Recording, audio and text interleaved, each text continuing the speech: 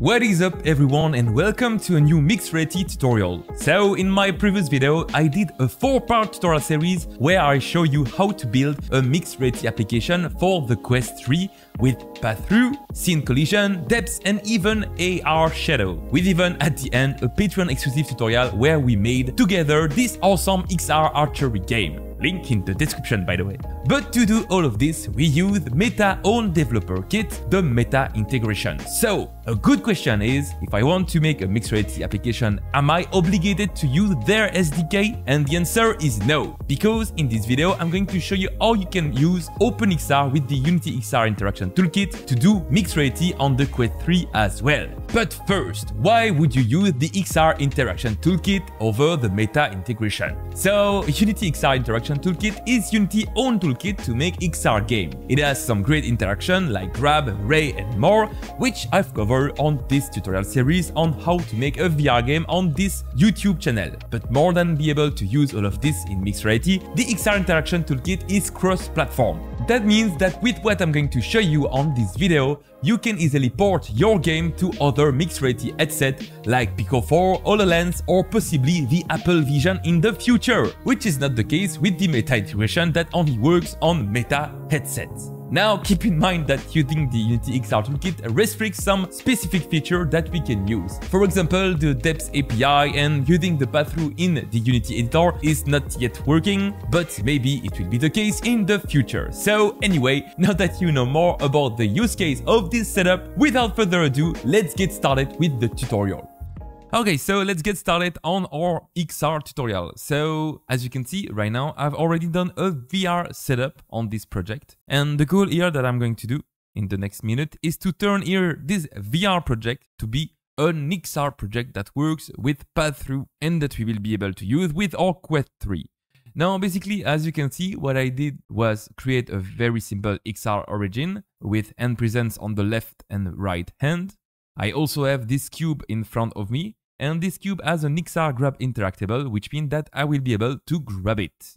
Oh, and by the way, because there is no ground over there, I don't want the cube to fall to oblivion, so I set here the rigid body to is kinematic to stop all of the force that are applied on this cube. By the way, if you want to know how to make this yourself, this is actually the result of the two first episodes of my tutorial series on how to make a VR game. So anyway, as you can see, if I maximize this windows and click on play, there we go, I can see my hand and the project is working in virtual reality. I can also grab and release the cube. So now the next step is to turn this project and make it work with path-through for mixed reality.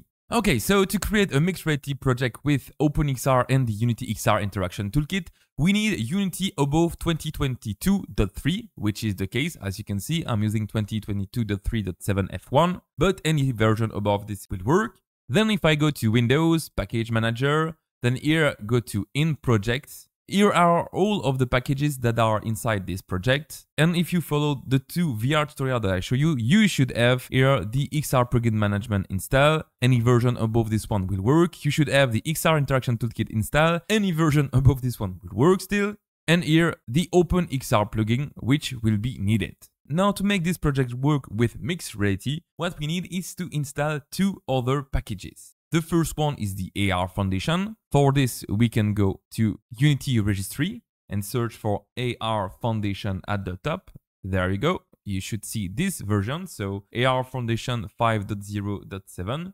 But unfortunately, this version is not supporting here the mixed reality on the MetaQuest 3, so we need a version that is actually above 5.1 now to do so, instead of clicking here on install, we can copy here the name, so com.unity.xr.ar foundation, click on the plus button, add package by name, and here you can just paste or write it for yourself, the name of the package, and now if you click on add, it will download a more recent version of the AR Foundation than the one that is presenting on the package manager there you go, as you can see, it has correctly installed AR Foundation version 5.1.1, but of course any version above this one will still work.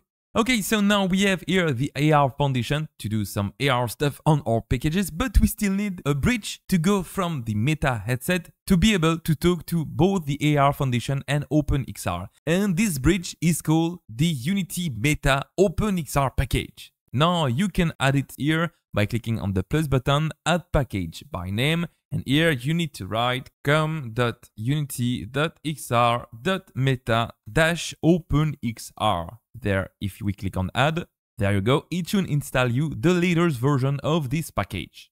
Okay, there you go. If we remove the search over there and that we go here on the Unity OpenXR meta package, we can see that it is correctly installed and that all of the dependencies, so the OpenXR and the AR Foundation are also installed, so now everything should work. And we are now ready to use these packages to create our mixed reality game from the Unity XR Interaction Toolkit.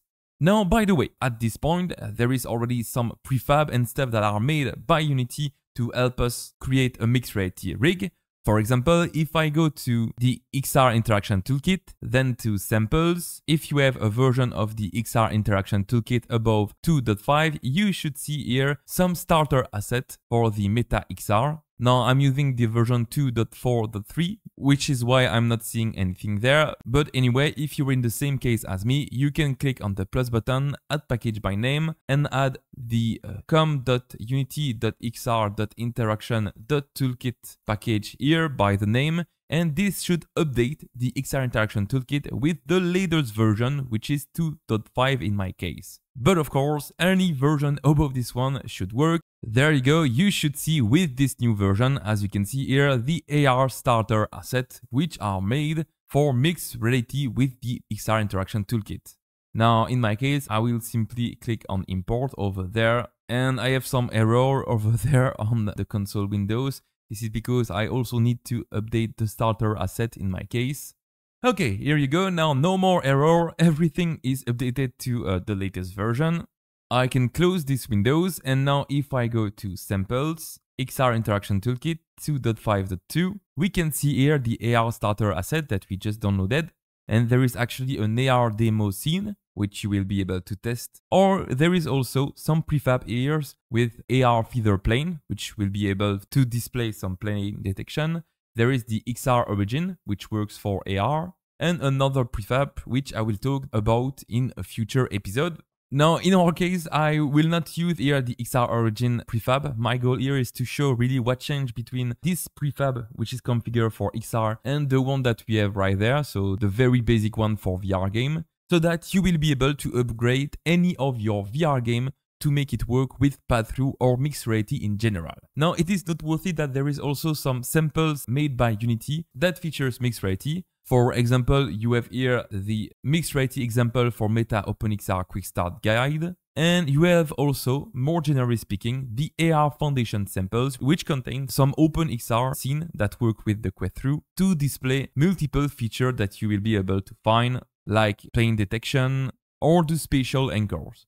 Now anyway, you will be able to find them in the description below. But now that all of the packages are correctly installed and that you know more about where to find some information about Unity XR with Quest 3, let's configure our project to make it work and update here the XR origin.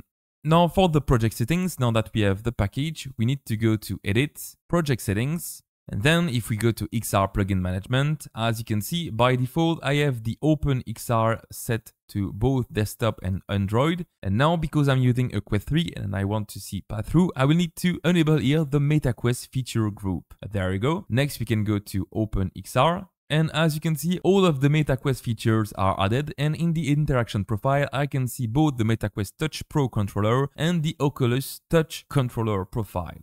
So here, make sure that you have the same setting as mine. Next, on top of the XR plugin management setting, there is some settings under player that we need to configure. So let me click over there. So the first thing we need to make sure is to set the color space from gamma to linear. There you go. Then we can disable the AutoGraphics API. And here, make sure that you have both Vulkan and OpenGL-ES3 that are inside the graphics API. Also, make sure that Vulkan is set at first here. There you go. If we go a bit down below here, make sure that the minimum API level is set to 10 and that the target architecture is ARM64. There you go. Now, these are all the settings that you need to have on the players. Now, let me close these windows. And as you can see in this project, I'm personally using the universal rendering pipeline. Now, if you are using the universal rendering pipeline, there is some more settings that you need to do to make sure everything works properly. So here, if we go to edit, project settings again, then to graphics, you can see here the scriptable rendering pipeline settings that is used. So if we click on it, it should highlight it in your project. And here to make uh, mixed reality work, you need to make sure here that uh, both the terrain holes and the HDR are disabled. Then on the same settings, if you click here on the renderer list first element, it should highlight another settings page. And if we click on it, we also want to uh, here disable the post-processing. There you go. Okay, and that's about it in terms of settings. Now with this, everything should work just fine. Now if you have any problem with this setup, let me know in the comment section and I will try to help you. But now what's left for us to do is to set up here the XR origin. Now the first thing we need to do is add an AR session. So we can right click, go to XR, and there you should see here the AR session. Now if you don't see it, it's just an empty game object which has two components an AR session and a AR input manager. Beautiful. Now on the XR origin XR rig, we can click on add component and add an AR plane manager.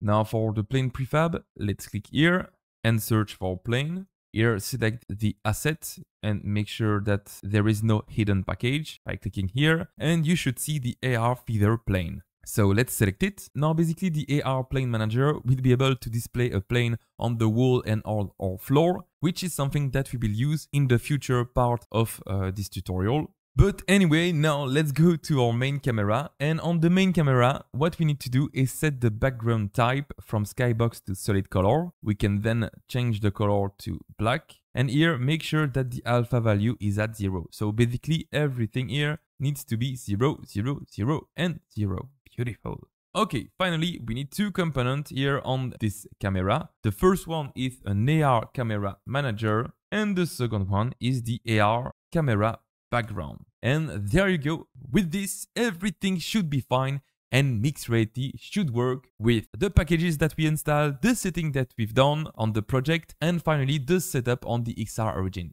Baldur's Call, we need to click on play to find out. Now, just on a side note, here by default, if I click on play, it will not work inside the Unity editor. This is not a feature that is available right now. So to test the path through, we actually need to build.